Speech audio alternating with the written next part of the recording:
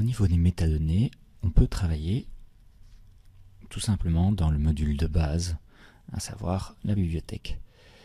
Les métadonnées se trouvent tout simplement ici dans la partie de droite, euh, cet onglet-ci. Alors ce qu'on a euh, par défaut, c'est un ensemble de choses, pas extrêmement tout à fait générique, disons. Alors dans un premier temps, puisqu'on s'intéresse à l'exif, on doit aller dans le menu pop-up ici et sélectionner exif.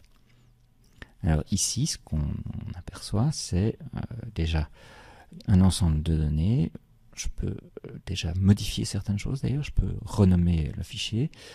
J'ai euh, la dimension, la possibilité de recadrer, si je clique ici sur ce bouton, date et heure, et les données techniques de la photographie, dont la focale, l'ISO.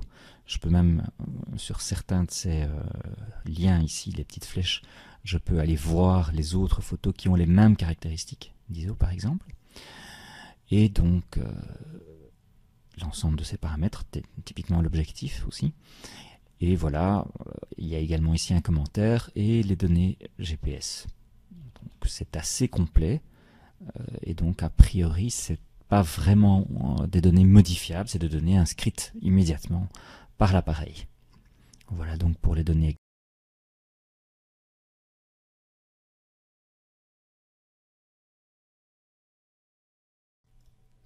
Alors, en ce qui concerne les métadonnées de mots-clés et d'IPTC, ça se passe ici, de nouveau dans le module développement, au niveau des mots-clés.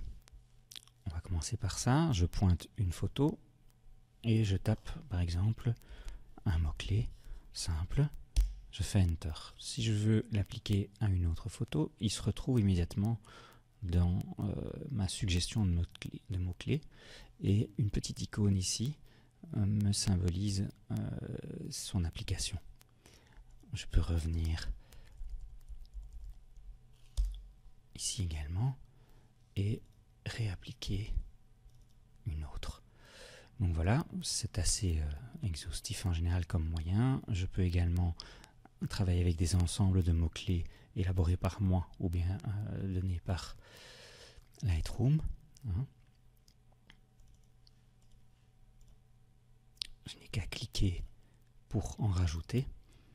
Euh, et donc voilà, ça c'est ce qui nous permettra de faire des recherches à travers un grand nombre de photos pour retrouver des thèmes, par exemple. Alors en ce qui concerne maintenant les métadonnées, non pas d'EXIF, puisque ça c'est inscrit au niveau de l'appareil photo, mais d'IPTC. Alors vous voyez à quoi ça correspond, il y a un contact, il y a un contenu, des notions de code de scène ou de code euh, et de copyright. Alors, on va se faciliter la vie, puisqu'a priori c'est toujours la même personne qui prend des photos. On va aller dans les métadonnées et prendre les paramètres prédéfinis des métadonnées. Alors, je vais prendre celui-ci ici, que j'ai créé spécifiquement. Alors, je prends la notion de copyright. Hmm. Donc, il faut en général une notion de copyright, le nom de l'auteur et la société, et déterminer l'état copyright. Ensuite, ça, c'est toutes les coordonnées euh, du créateur qui vont évidemment revenir systématiquement euh, dans le, pour chaque photo. Et comment ça fonctionne? Mais Au niveau d'une photo, je vais la sélectionner, je vais attribuer euh, un ensemble de paramètres immédiatement à toute la photo. Je vais le faire maintenant à une photo qui n'a pas encore été déterminée qui, est encore vierge. Voici, encore une fois, le petit marqueur ici qui symbolise que les mots-clés ou les métadonnées d'IPTC ont été encodés.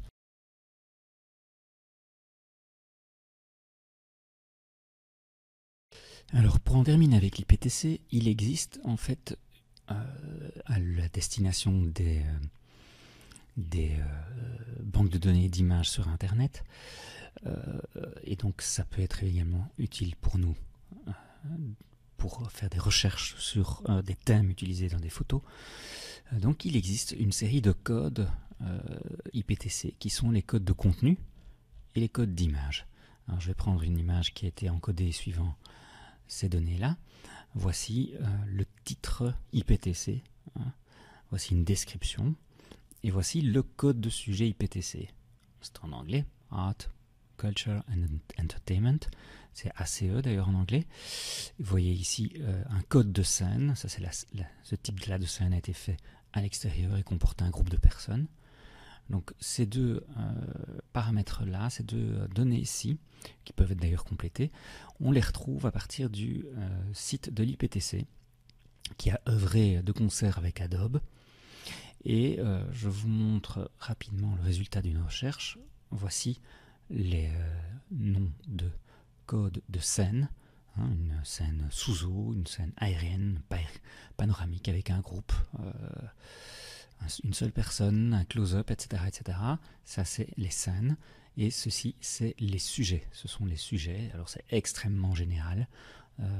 J'ai utilisé, moi, art, culture et entertainment pour cette, photo, cette photo, mais vous voyez que c'est extrêmement générique, mais ça permet, euh, disons, euh, de retrouver certains thèmes généraux au sein d'une photo, d'inscrire des thèmes au sein d'une photo, au même titre qu'on met un code de pays ou une ville et des choses pareilles. Donc voilà pour cette analyse de l'IPTC.